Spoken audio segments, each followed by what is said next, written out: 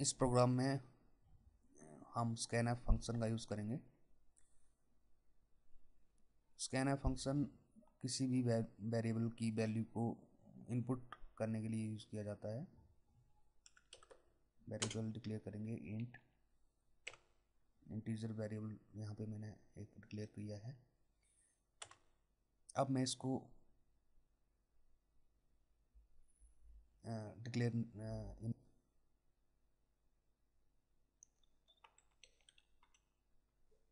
Scan app के लिए आप percentage d comma m percent a का यूज़ करेंगे। अब वैल्यू हमने इनपुट करवा ली है ए वेरिएबल के लिए। अब हम ए वेरिएबल को आउटपुट करेंगे। आउटपुट प्रिंट एफ़ से करेंगे। परसेंटेज डी कोमा ए दोनों में स्कैन एफ़ और प्रिंट एफ़ में फ़र्क कितना है। आप स्कैन एफ़ में एम परसेंट का यूज़ करेंगे। स्कैन एफ़ के बीच आप कोई टेक्स्ट स्ट्रिंग यूज़ नहीं करेंगे। इस तरह से।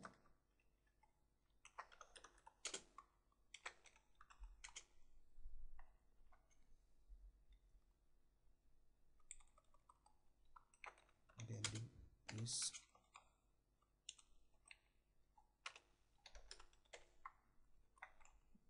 स्क्रीन क्लियर के के लिए और स्क्रीन क्लियर करवा लेते हैं। प्रोग्राम को रन करते हैं। तो अगर आपने स्कैन ऐप के बीच में कोई स्ट्रिंग यूज़ किया होगा, वो डिस्प्ले नहीं होगा। और जो वैल्यू आउटपुट में आएगी, वो भी गलत आएगी। तो इसलिए आपने यहाँ पे कोई स्ट्रिंग यूज़ नहीं करना है।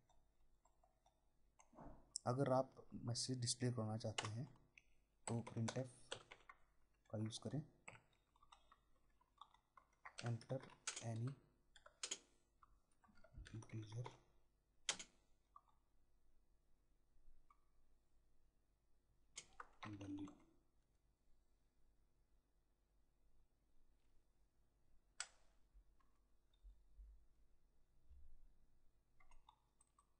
प्रिंट एफ़ होगा। Enter any integer value twenty value is twenty इस तरह से हम वैल्यू इनपुट लेंगे और उसको आउटपुट करेंगे।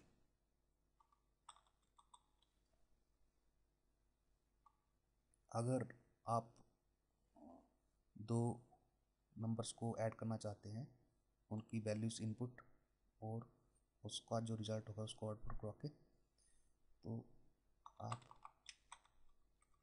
उसी तरह से रिज़ल्ट तीन वेरिएबल ले लेंगे। और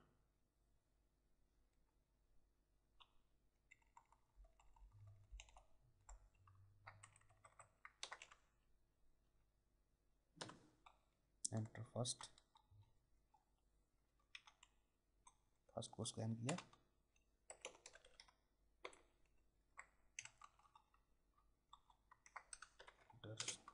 सेकंड सेकंड को स्कैन करेंगे।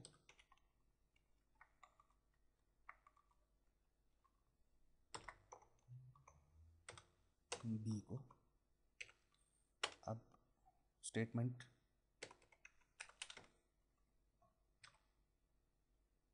result is equal to a plus b.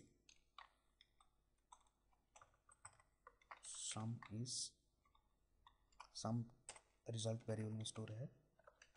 Result program run करेंगे। Enter first six enter second eight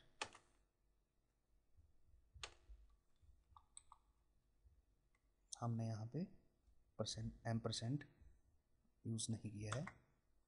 इसलिए वहाँ पे रिज़ल्ट गलत आ रहा था।